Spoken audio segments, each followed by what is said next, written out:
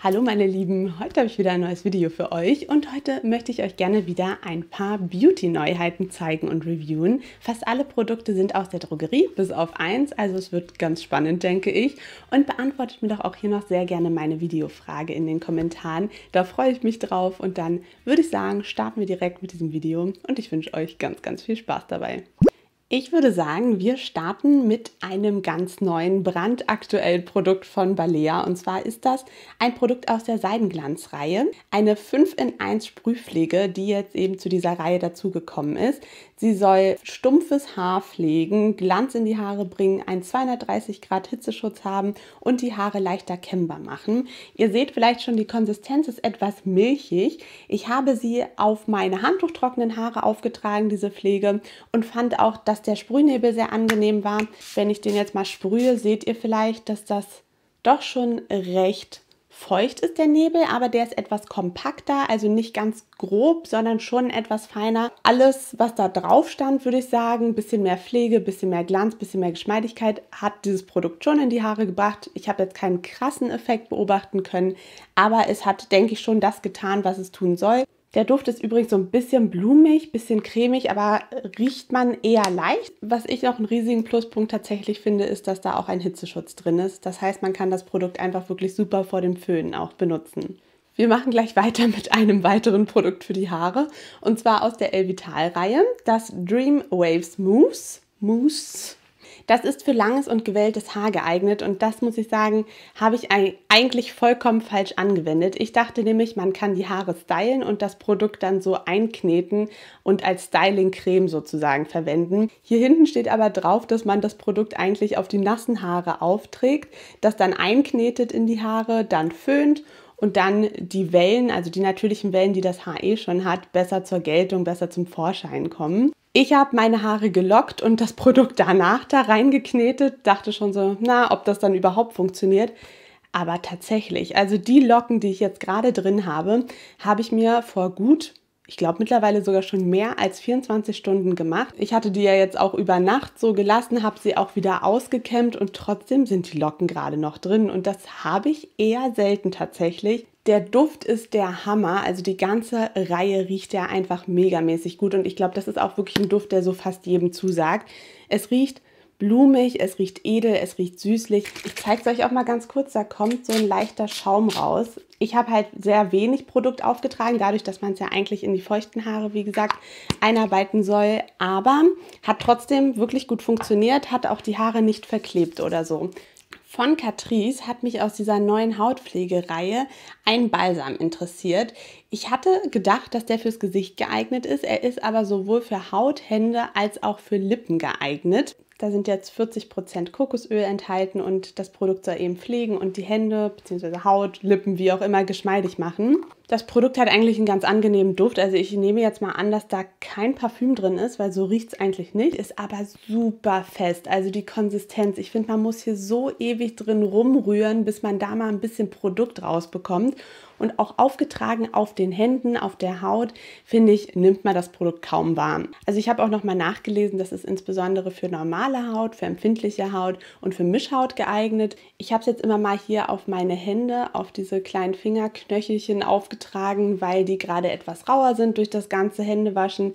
Dafür ist es in Ordnung, weil hier braucht man natürlich auch nicht so viel Produkt für. Irgendwie weiß ich noch nicht so ganz, was ich davon halten soll. Ein weiteres neues Produkt für die Haut stammt von Yepoda. Das ist jetzt das Produkt, was nicht aus der Drogerie ist. Und zwar ist das ein Serum mit Niacinamiden. Wie cool ist das bitte? Probiotika sind da auch drin und das Serum soll vor allem die Haut mit Feuchtigkeit versorgen, soll aber auch vorzeitige Hautalterung vorbeugen und die Haut eben so ein bisschen geschmeidiger machen, soll tatsächlich auch gegen Unreinheiten helfen, soll das Gesicht so ein bisschen mattieren und ebenmäßiger machen. Man kann es natürlich morgens und abends auftragen ich habe das Produkt jetzt immer morgens vor meiner Feuchtigkeitspflege aufgetragen, dadurch, dass es wirklich sehr, sehr schnell in die Haut einzieht, wie ich finde. So soll es ja auch gedacht sein, ein Serum. Ein Serum wird ja viel schneller von der Haut aufgenommen. Man merkt schon, dass da Feuchtigkeit drin ist, aber wie gesagt, die wird eben sehr schnell eingesogen und das Produkt ist auch flüssig, aber eher zähflüssig, würde ich sagen. Also man kann es sehr gut einarbeiten in die Haut. Das ist auch wieder in einem Glasflakon gehalten und Japoda ist ja die K-Beauty-Marke, von der ich euch jetzt schon des Öfteren erzählt habe, weil ich ja gerade den Reinigungsschaum und den Make-up-Balsam so super genial finde. Und man nimmt natürlich auch gleich so einen kleinen erfrischenden Effekt wahr. Das Produkt muss man aber natürlich über mehrere Wochen dann auch auftragen, auch regelmäßig, damit man dann auch diesen Anti-Unreinheiten-Effekt und einfach ein ebenmäßigeres Hautbild sieht. Aktuell ist auch noch mein 30% Rabattcode gültig. Gut, der Valentinstag ist jetzt zwar rum, aber man kann sich natürlich auch selber einfach eine Freude machen. Den Link und den Code dazu findet ihr in der Infobox.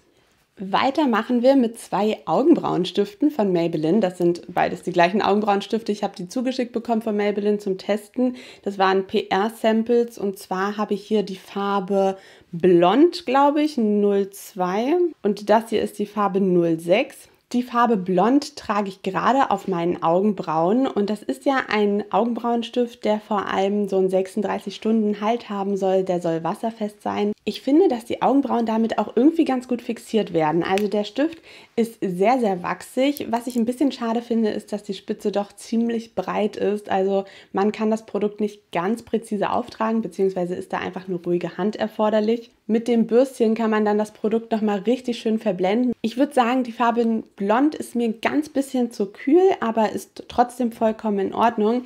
Jetzt habe ich aber noch etwas mit euch vor, denn dieses Produkt habe ich jetzt zweimal benutzt und die Spitze ist aufgebraucht, wie ihr seht. So, ich habe die ganze Zeit versucht, daran rumzudrehen, habe gedacht, man muss dieses Produkt doch irgendwie weiterverwenden können. Habe dann auf DM schon gelesen bei den Rezensionen irgendwie, dass da ganz viele geschrieben haben, dass das halt nach vier Anwendungen nicht mehr brauchbar ist und nutzlos ist. Und dann habe ich aber zwei Kommentare gefunden, in denen stand, dass man das Produkt anspitzen kann. Es würde mich tatsächlich ein bisschen erstaunen, weil das Produkt sich eigentlich nicht so anfühlt, als wäre es zum Anspitzen da. Aber wir versuchen es. Okay, scheint auch zu funktionieren. Ja, doch, es sieht so aus, tatsächlich. Das ist natürlich praktisch, obwohl ich ähm, Anspitz-Augenbrauenstifte immer nicht ganz so gerne habe wie diese zum Rausdrehen, aber ist trotzdem vollkommen in Ordnung. Bei mir zumindest hat es wirklich den ganzen Tag über gehalten. Ich habe es auch richtig schwer abschminken können, weil es so wasserfest eben noch ist. Finde ich bisher aber wirklich gelungen. Und jetzt kurz zwischendurch für alle, die noch dran sind. Ihr habt Glück, ich habe nämlich für euch ein kleines Paket zusammengestellt. Ich verschenke ja doch auf Instagram immer mal regelmäßig etwas, aber hier kommt ihr mir doch manchmal etwas zu kurz. Deshalb habe ich mir gedacht, ich mache hier so ein kleines verstecktes Gewinnspiel in dieses Video mit rein. Um mitzumachen, solltet ihr deswegen ein Abonnent meines Channels sein. Ihr solltet dem Video einen Daumen nach oben geben und ihr solltet einen Kommentar verfassen, in dem ihr einfach die Videofrage beantwortet und dahinter ein Glückskleeblatt setzt, damit ich weiß, dass ihr das Gewinnspiel entdeckt habt und mitmachen möchtet. Ein weiteres Produkt für die Haare ist dann noch das hier auch aus der Dream Length Reihe von Elvital. Ich finde die Reihe ja einfach schon so gut, beziehungsweise mag ich diese Anti-Splitzmilch daraus ja sehr, sehr gerne. Hab die jetzt auch, glaube ich, schon zum dritten Mal aufgebraucht. Das ist jetzt das Hitzeschutzspray. In allen Produkten sind übrigens Vitamine und Rizinusöl drin und das ist auch ein Leave-In-Produkt. Auch dieses Produkt habe ich einfach vor dem Föhnen aufgetragen. Ich zeige euch auch hier mal den Sprühnebel. Also auch der ist etwas kompakter das Produkt riecht auch so super gut, wirklich. Auch dieses Produkt, denke ich, tut das, was es soll und schützt die Haare vor Hitze. Das kann ich natürlich nicht so ganz beurteilen. Und auch bei diesem Produkt ist der Duft in den Haaren super lange wahrnehmbar. Diesen Lipgloss von Catrice möchte ich euch auch noch gerne zeigen. Das ist der Volumizing Lip Booster in der Farbe 140. Das ist eine neue Farbe, beziehungsweise noch eine recht neue Farbe, die ich einfach mal testen wollte, weil ich von Catrice eigentlich Lipglosse immer sehr gerne mag. Ich finde, er riecht ziemlich stark nach Menthol irgendwie und soll, glaube ich, auch die Lippen wieder so ein bisschen aufplustern. Ist super farbstark. Leider sind die Catrice-Produkte immer etwas schwer auf den Lippen. Also entweder muss man aufpassen, dass man eben nicht zu viel Produkt aufträgt und nur einmal schichtet oder man muss sich eben ein bisschen an das Tragegefühl gewöhnen. Diesen aufplusternden Effekt, wie gesagt, merke ich persönlich immer nicht so, aber ja, ansonsten hat er wirklich eine schöne Farbstärke und einen schönen Gloss-Effekt. Und wo wir schon dabei sind, zeige ich euch auch gleich noch diese beiden neuen Lipglosse, die Lifter-Glosse von Maybelline. Auch die waren nämlich in dem PR-Paket enthalten und den einen davon habe ich ja mit euch schon auf Instagram getestet. Das ist die Farbe 003 gewesen. Den trage ich auch gerade auf meinen Lippen und ich finde vom Tragegefühl her sind die deutlich angenehmer, deutlich leichter auf den Lippen als der Lipgloss von Catrice. Der Lipgloss von Catrice ist aber natürlich auch deutlich günstiger. In den Lifterglossen sind, soweit ich das jetzt gesehen habe, auch in allen Produkten ganz, ganz leichte Glitzer-Goldpartikel. In der Farbe 005, die ich hier auch noch habe, ist dieser Glitzeranteil eher etwas geringer, aber dafür ist die Farbe stärker. Also auch hier ist die Pigmentierung wie bei dem Catrice Lipgloss einfach sehr hoch. Auch diese Produkte sollen so aufpolsternde Effekte haben. Auch hier kann ich nichts wirklich dazu sagen. Die riechen auch beide richtig gut. Also die riechen eher blumig süßlich und das mag ich ja persönlich einfach immer gerne. Enthalten auch Hyaluronsäure und wie gesagt, finde ich, sehen auch toll aus auf den Lippen.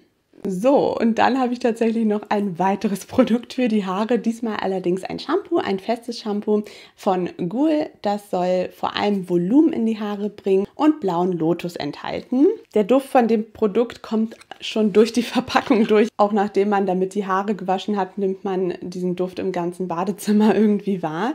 Ich habe das Produkt, wie gesagt, schon benutzt, aber es sieht gar nicht so aus, als hätte ich es benutzt. Ich gehe damit immer einfach so über den Ansatz drüber, also auf meinen nassen Ansatz natürlich natürlich und die Produkte schäumen wirklich super gut auf. So viel braucht man auch gar nicht davon. Also wenn man das Produkt dann so ein bisschen auf dem Ansatz einmassiert hat, kann man es wegtun und dann mit den Haaren einfach, äh, mit den Haaren, mit den Händen das Produkt einfach weiter einmassieren und ein bisschen aufschäumen lassen. Ich würde jetzt nicht sagen, dass es bei mir für mehr Volumen gesorgt hat. Ich habe es, glaube ich, aber auch erst ein oder zweimal benutzt. Also vielleicht ist das eher ein Langzeiteffekt.